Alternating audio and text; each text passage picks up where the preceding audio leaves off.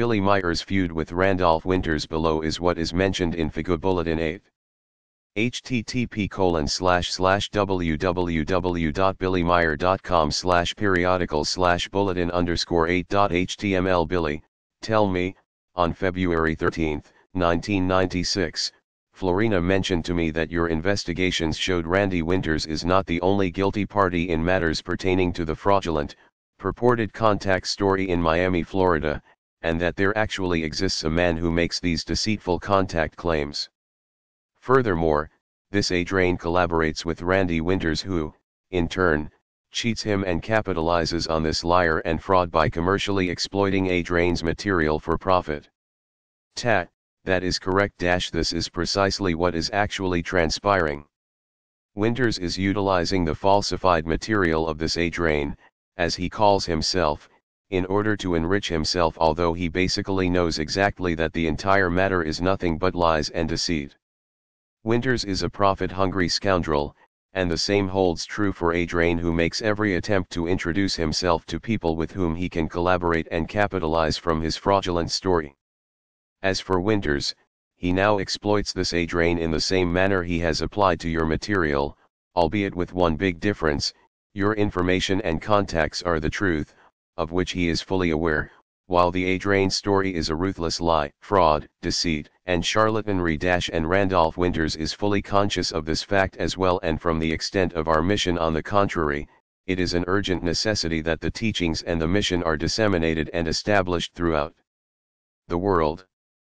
This applies also to America, even though it presents the greatest difficulties and is marked by sectarianism, intrigues and deceitful machinations, which have led the Pleiadians-Pleiadians to sever their links with that region to a point where the establishment of closer ties has become impossible. Individuals such as, Randy Winters Dash, Roberta Brooks, the contact liar Fred Bell and many other people of the same category contributed to this plight because of the lies they spread regarding the contacts they were supposedly having with the Pleiadians in one way or another. Indeed, some of them even claim they receive messages and other things from the extraterrestrials. All of these claims are simply heinous lies and vicious fraud, for not one Pleiadian slash Plejaren maintains contacts with human beings on Earth dash except for me dash a fact the Pleiadian slash Plejarens have repeatedly and extensively emphasized throughout my many contact years with them. Billy. And from, Liars in the Pleiadian Sky May 13, 1996, Contact with Ptaah. On this list I must also include Fred Bell, who alleges to have had contacts with my daughter Semjase, and Randy Winters with Adrian's fraudulent story about his purported contacts in Florida. Never have we had such contacts with humans on Earth. You are the rare exception and currently no other contactees exist whatsoever.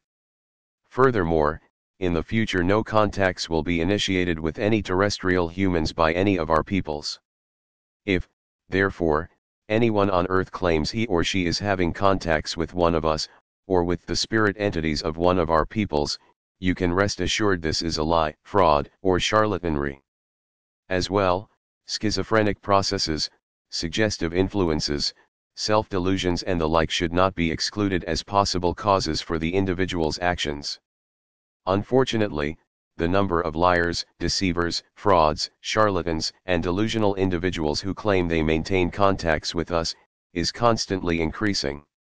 Every one of them, and I must strongly emphasize every single one, is simply an individual suffering from derangement, schizophrenia, or delusions unless the person is a deliberate liar, deceiver, fraud or charlatan. It is interesting to note that we Pleiadians slash Plejarens became part of the Earth's public's interest only after you officially began disseminating your mission material, and making public appearances. At that time we were suddenly being exploited by dozens of delusional people, liars, frauds, deceivers, and charlatans who claimed we had or were having contacts with them. The irony of this scenario is that these sick and dishonest people with their delusional, deceitful, and fabricated stories, are being accepted as telling the truth by practically all UFO groups, although their fabrications bore not one iota of truth. While you, our genuine contactee, continue to be scorned as a liar and cheat, and your evidence is defamed as being fraudulent. It certainly would be appropriate for you to compile a pamphlet regarding these matters so you can hand it out to everyone who is interested. The sincere investigators, indeed all other human beings, are entitled to hear about the fundamental truth. Real info about Randolph Winters Randolph Winters was never on the staff of FIGU. He was a self-proclaimed FIGU member who ultimately was out to cash in on what he viewed as a marketable product. FIGU's and Meier's disassociation with him has been known for years. Whether or not Winters cares to admit the truth of what really happened.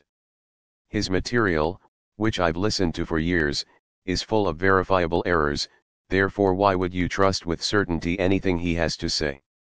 Posted by FIGU in 1994, Randolph Winters' New Lies, Misrepresentations, Errors and Intrigues from the USA Within certain circles in the United States of America, Randolph Winters is a well-known and popular man because he depicts himself as a direct and authorized Billy Meier representative, and boasts, particularly at lectures, of his close association and collaboration with Billy and the FIGU, which is a verifiable lie. Without authorization, and in spite of a prohibition by FIGU and the Pleiadians to do so, Randolph Winters has the audacity to give lectures and radio-slash-TV interviews, and at the height of impertinence and disdain he formed the Pleiades Project. Randolph Winters, who may be considered as one of the mission's greatest liars and profiteers in the USA today, has now published a book with the grandiose title The Pleiadian Mission. In it he unleashes information on Billy's contacts, the Pleiadian mission and FIGU and launches wild and shabby proclamations that are not based on any truthful background whatsoever. The same applies to Winter's UFO The Pleiadian Contacts, a 16 audio tape set plus a book of drawings and diagrams, and the videotape The Pleiadian Connection. Billy Meier and FIGU hereby expressly distance themselves from Winter's deception and are able to state, after an in-depth review, that the book contains numerous untruthful details and many lies as well as misrepresentations, example Randolph's claim that the contacts had been terminated in 1978.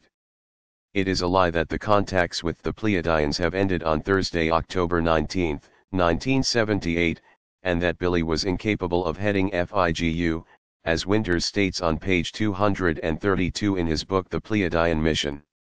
The truth is that the contacts are ongoing even now, 1994, and neither the Pleiadians nor Billy are planning to end the contacts in the near future. Concerning the contact reports it must be stated that the 115th contact took place on October 19, 1978, and that Billy has since had 174 additional contacts.